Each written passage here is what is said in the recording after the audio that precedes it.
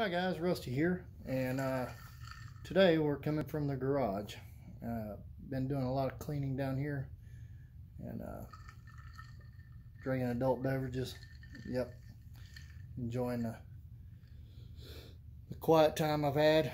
But today we have a mail call. In the mail today, we got stickers from JonesZ's Rides. Yep, and a uh, small sticker, and then he, he sent me a couple of these bigger stickers man, they are nice. I love the fact they, they carry the American flag in the stickers.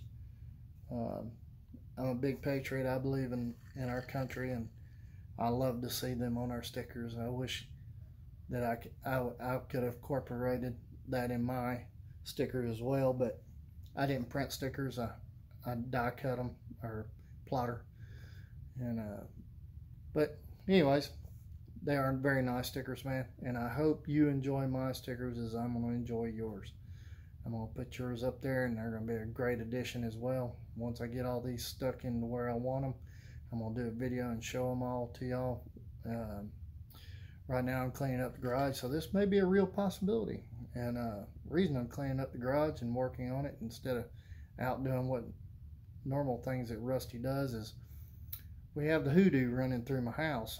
And even though this guy tested negative, it's still in the house. I have a family member that has it, and uh, uh, hopefully here in about another 10 days, I can go back to life as normal.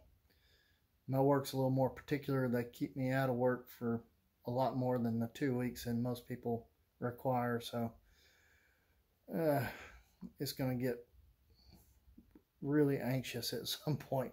I don't do well being in confined spaces and for long periods of time. So we'll see how it goes.